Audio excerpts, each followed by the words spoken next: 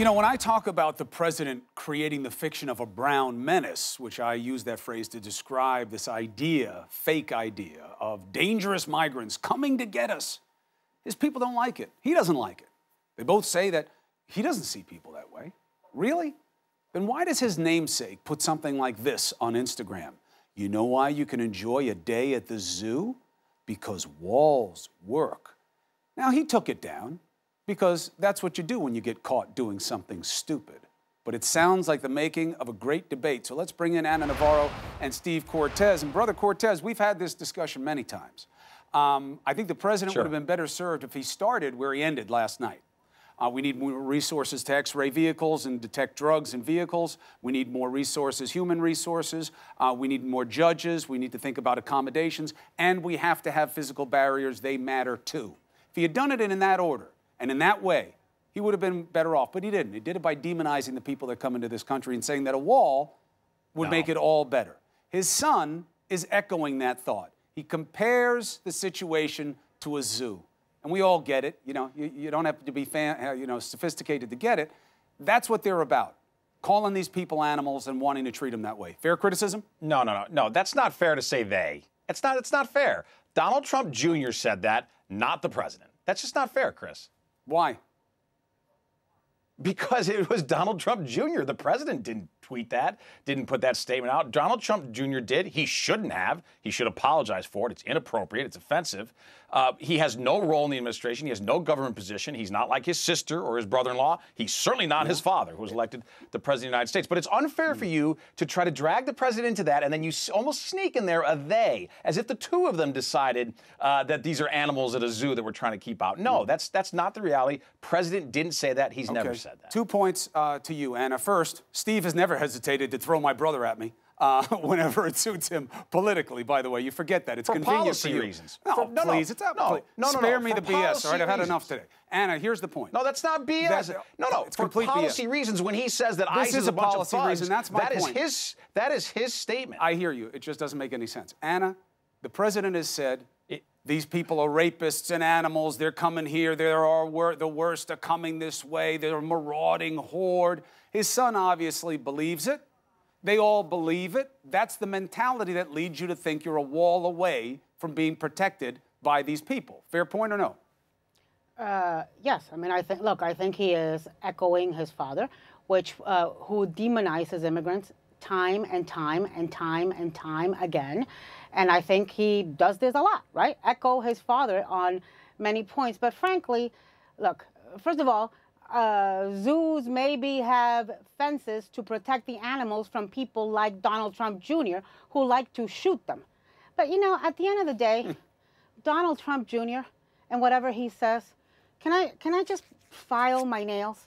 I mean, this Good is an entitled, rich, spoiled little brat who's only call to fame as being his daddy's son who hasn't built anything of his own, who hasn't done anything of his own, who is somehow trying to hang on to the fame of his father in order to have some level of relevancy. Steve is right.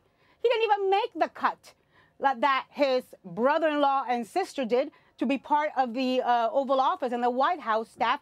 Uh, Daddy kept Fredo back home. So who cares what Donald Trump Jr. says? Who cares what Donald Trump Jr. says? All right, you know what? I don't want to talk about Ana, Ana, you, you know, said, that entitled little brat. You just said that the you just said that the president demonizes immigrants, and this is another sort of sleight of hand uh, that the left loves to try to uh, to put over on the American people. He has never demonized immigrants. He is against illegal aliens. He is against breaking and entering into our country. He's against a lawless border. He loves he legal immigration. As a matter of fact, literally so. He's married. You, I have, Steve, he's I have asked you in the past. Let me tell you this. Come no, wait. On. Let me say this. Go ahead, go ahead. I have asked you in the past, and I will ask you again today, to stop referring to me as left. Let me remind you that I was a Republican when Donald Trump was a Democrat.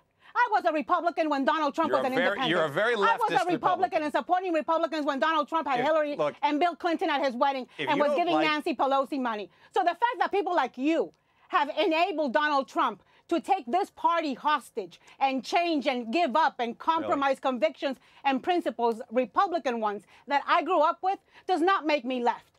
I fled left. This I is the most fled communism. conservative- this is so the if you most wanna talk about conservative left, president You know, you since can do Ronald whatever Reagan. you want. He- the fact that I do not well be the count most down conservative with back to the Donald subject Trump matter. Does Let's get- not make me left. All right, I he hear might you be the on most that, Ana. conservative president You're- since Calvin Coolidge. But hold on a So second. if you oppose the conservative policies on this president, you are de facto a left. Demonizing- correct. He is not a Demonizing migrants is Do not a conservative value. Are conservative? Not a conservative. Do you think uh, having sex with a stripper is constitutional conservative judges- values? Do you think wait, cheating on the stripper with a Playboy bunny is conservative values? I- do you think trade I don't think wars that are has anything to conservative do with values? policy. Do you think pulling Really? out Yes, of I do. Syria is a Yes, I conservative think- value? I think- Give me a break. I think constitutional. I think constitutional judges and tax cuts and sovereignty over our country and Un- controlling our borders. unpaid those for are tax absolutely cuts conservative. that cripple macros. the deficit is a conservative policy value.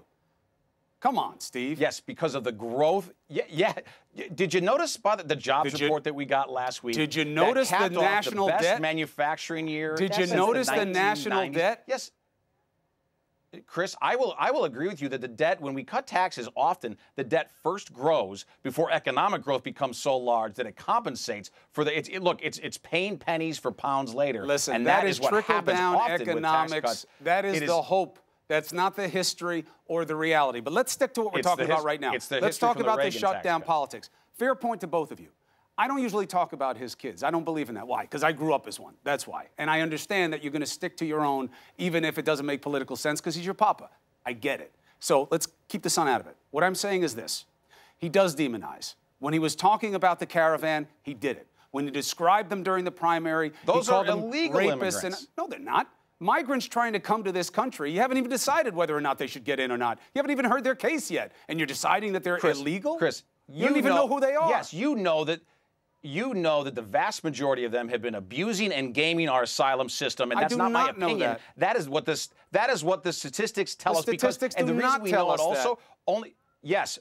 Chrissy, they do. Only 10% of people from those three Latin, Central American co- countries That's not abuse. are the preponderance of the That caravan. is our Only system that only allows in one out of 10. And- That's our system. That doesn't mean that, that they if- don't have a bona fide wanted- claim.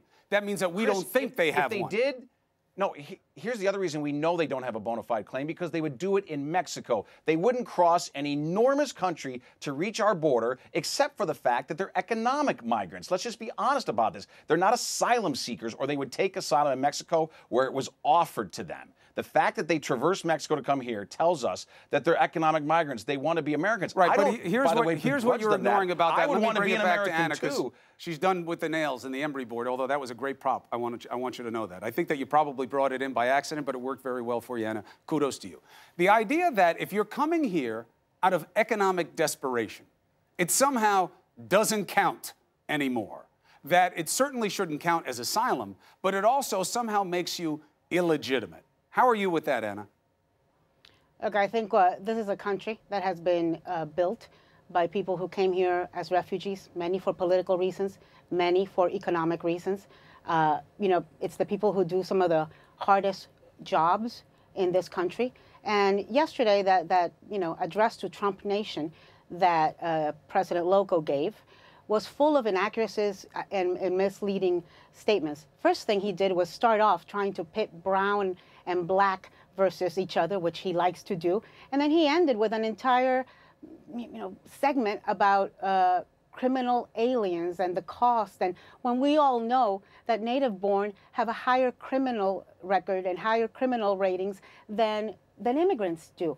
But this is something that he goes again and again and again and again to. You know, I, I keep wondering just how long he's going to be able to play this same song and this same record. How long can he go back to the wall? Okay. I think he thinks it's a winning strategy for him.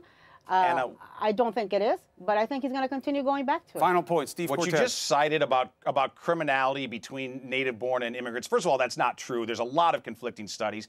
But even no, there if it isn't. true, Only okay, when you no include studies. the Yes, illegal are. entry as No. criminality do you get the numbers where you want them. No, to that's be. not true. Yes. That's, that's not true. John Yes. Lott did an extensive study of Arizona. There are there are conflicting studies. But listen, No even if I were to studies. grant you that point, even, yes, there are. No but even if I, that's fake Not news to say real there are not. It's fake No, news. It's fake But- news for but you to I were inject if- BS okay, and say that it's look, equal to the real data. It's not Continue. BS. But even if I were to even if I were to grant you that, okay, the point is the illegal alien crime rate should be zero. It should be. You can do your nails. You know who can't do their nails? Are people who've been killed, Ana, by dangerous, known illegal aliens who've been allowed to stay in this country because of the leftist policies that people like you promote in so-called sanctuary cities I'm so tired to allow of them to hide me in plain sight. already.